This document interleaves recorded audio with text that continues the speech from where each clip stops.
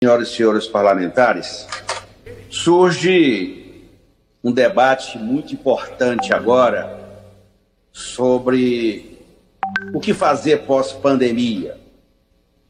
E dois fatos que é, sustentam essa minha fala dizem bem do que faremos daqui para frente. O primeiro deles, em reunião hoje com deputados, o ministro Guedes dando uma de, de, sei lá, com todo respeito, de projetar futuro, anuncia que vai criar uma tal Renda Brasil para atender as famílias mais vulneráveis.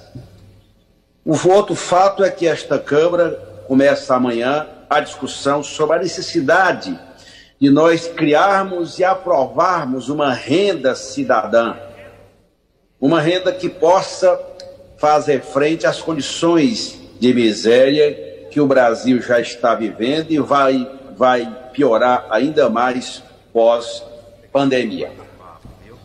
E esse debate, senhor presidente, é feito no, no processo de, das movimentações que cada força política, que cada partido, é, que todos começam a discutir o que fazer com o Brasil. O Brasil da Covid-19 que temos um governo que foi incapaz e irresponsável, que não operacionalizou praticamente nada das medidas que esta Câmara aprovou, deixou o país à revelia de tudo, de falta de políticas, até ocultar dados do Ministério da Saúde, tentou fazer, que em boa hora o ministro do Supremo Tribunal Federal, atendendo uma representação de três partidos no campo da esquerda, eh, determinou a divulgação e a não ocultação, porque isso era crime como disse bem Vossa Excelência, o Brasil vive uma crise de grandes proporções, uma crise humanitária, onde o Estado brasileiro, o país, o governo brasileiro silencia e não toma medidas absolutamente necessárias para enfrentar a Covid-19. Não adianta os deputados que defendem o governo subir à tribuna e anunciarem que o Brasil, que o governo brasileiro tem compromisso e está ajudando. Não está, eu vou repetir, não está. Os estados estão sobrevivendo por conta e risco deles.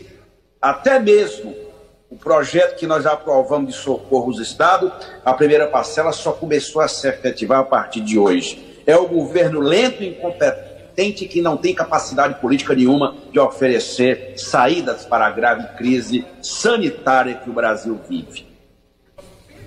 Ao lado disso, nós vamos experimentar o agravamento da crise econômica, onde as condições da população se tornam, as condições de vida se tornarão cada vez mais é, degradadas por conta da pandemia e por conta da brutal recessão que o Brasil vai viver. E não adianta acharem que as condições são as mesmas que eles fizeram nesses dois anos, quase dois anos de governo, porque é bom dizer, presidente, que todas as medidas que este Congresso adotou, por maioria, e atendendo aquilo que o ministro Guedes queria, ele não entregou absolutamente nada. Foi incompetente, foi negligente, foi omisso, porque não conseguiu dirigir a economia brasileira e tomar medidas que mantivessem o Brasil dentro daquele processo de crescimento que nós experimentamos lá atrás. E é nesse sentido que eu quero fazer três referências. A primeira delas, para enfrentar uma crise desta dimensão, tem que ter governo.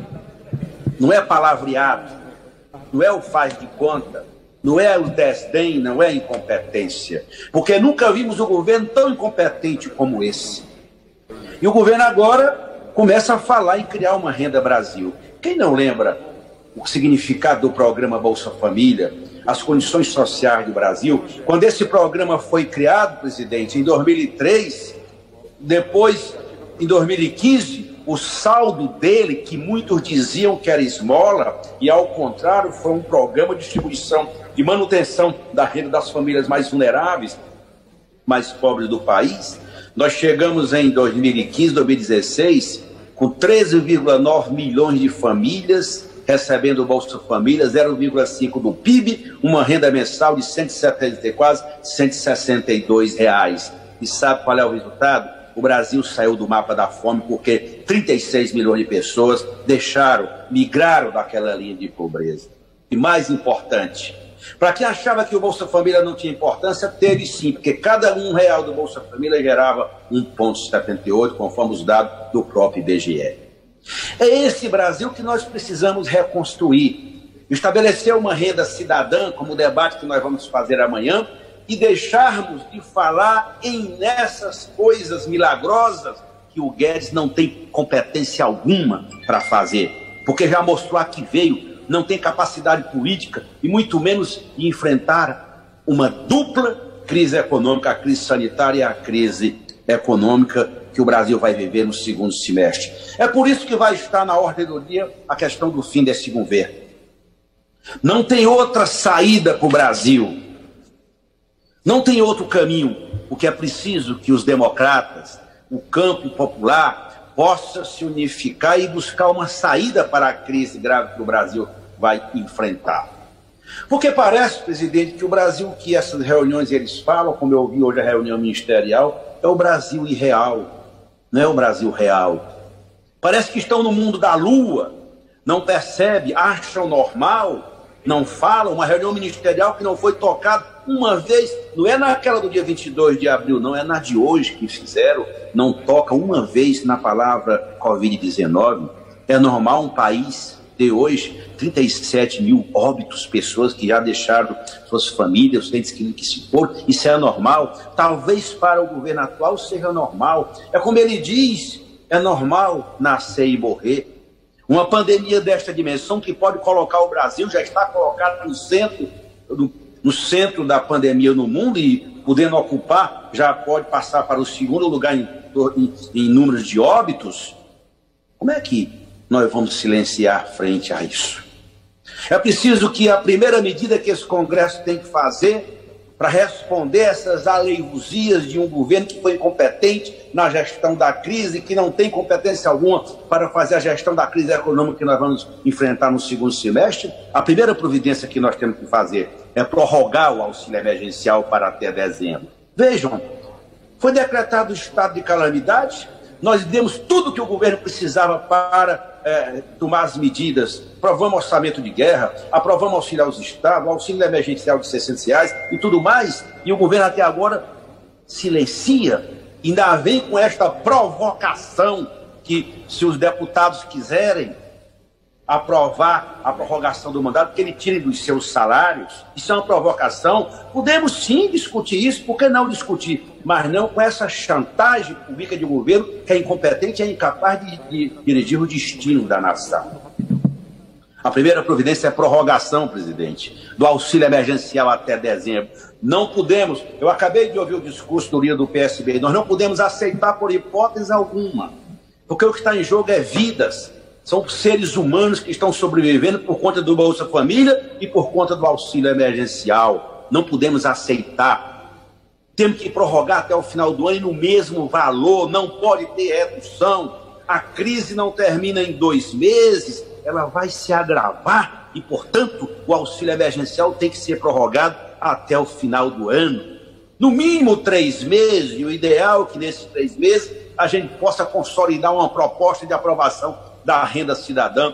Quantos anos, meu caro líder do PT, o nosso senador Eduardo Suplicy ficou gritando ao léu, aos ventos, pedindo para que o Congresso discutisse uma renda de cidadania para as famílias pobres brasileiras. Finalmente, o mundo acadêmico, o país se dá conta agora que está na hora. Aliás, o mundo inteiro está discutindo isso, porque as condições de miserabilidade pós-pandemia se agravarão e não, terá, não terão saídas que não passem e proteger as famílias que vão ficar no mar, no, no, na, no, na amargura sem ter como sobreviver, porque a crise econômica vai ainda apertar a situação econômica de cada família brasileira.